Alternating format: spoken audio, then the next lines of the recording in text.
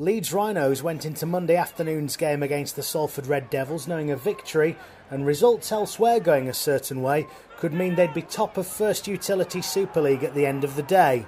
Iestyn Harris's side returned to another of his former clubs, still looking for their first victory under their new coach.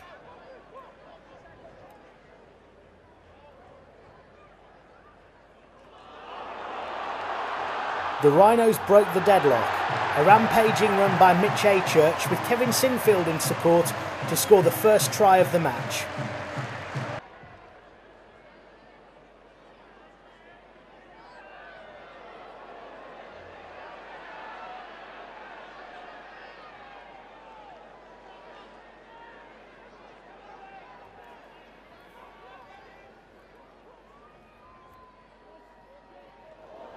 Defences were on top in the first half at Headingley, and a Logan Tomkins try dashing over from dummy half, spotting that perhaps the Leeds Rhinos' defence of Sinfield and Ablett wasn't set, meant that the two teams went in with Leeds leading 6 4 at the interval. If the first half was tight, the second was not. Firstly, Briscoe, followed by Ben Jones Bishop, in a move finished off by Zak Hardaker, all showed great pace.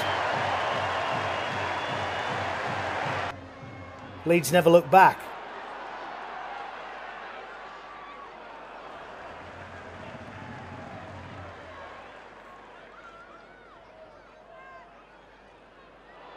Next on the score sheet for the Rhinos was Rob Burrow. After great work by Ben Jones Bishop feeding it out to Joel Moon, it was the lead centre who provided the killer pass to the Rhinos' number seven, who scored the try.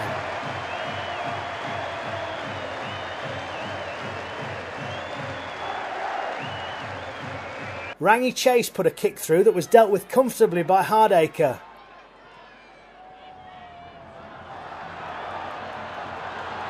Who pinned his ears back, looked for support, and found it in the shape of Ben Jones Bishop. The Leeds fullback able to return the favour and set the winger away for a score of his own.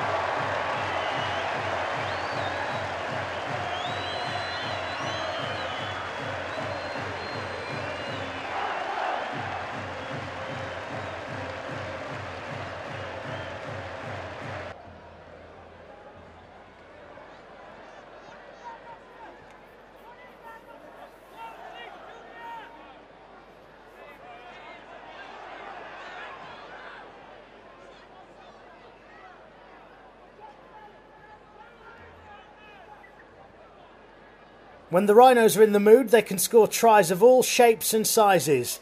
Kevin Sinfield in at dummy half to start this one off, casting a glance into centre field but flinging the ball out towards McGuire, then Sutcliffe, Moon to Hall, and another score for the Rhinos.